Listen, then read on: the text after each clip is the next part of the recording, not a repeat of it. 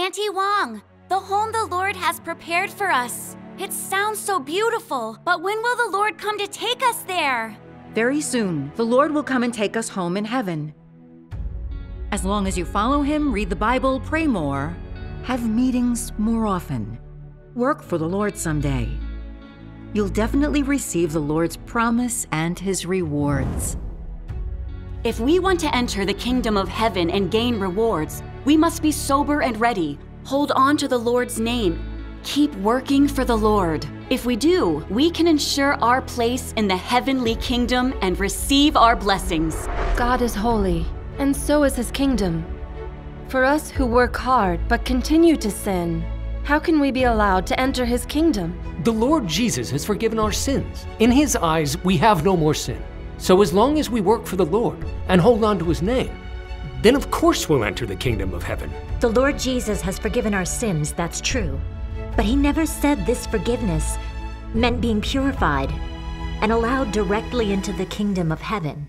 No one can deny this fact. Almighty God tells us those who are impure are not permitted to enter into the kingdom. Those who are impure are not permitted to besmirch the holy ground. Though you may have done much work and have worked for many years, in the end, if you are still deplorably filthy, it is intolerable to heaven that you wish to enter my kingdom.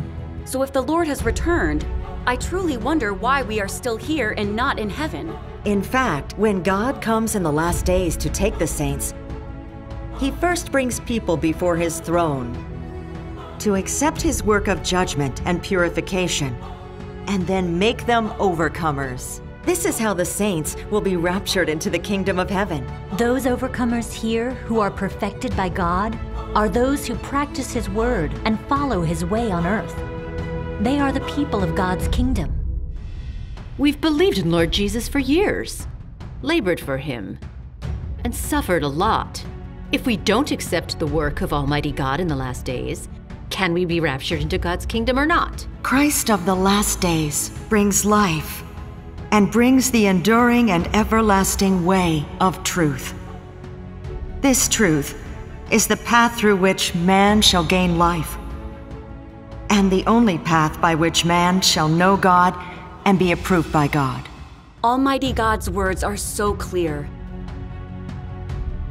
If you do not seek the way of life provided by Christ of the last days, then you shall never gain the approval of Jesus and shall never be qualified to enter the gate of the kingdom of heaven. God's work of judgment in the last days is the most crucial and fundamental work in God's salvation of mankind. One's accepting and experiencing the judgment and chastisement by God's word is the only way to his salvation and entry into the kingdom of heaven. Thank Almighty God for awakening me from the dream. So I hear God's voice and am raptured before God's throne. I can accept his judgment and purification face to face. This is God's special mercy and grace for me.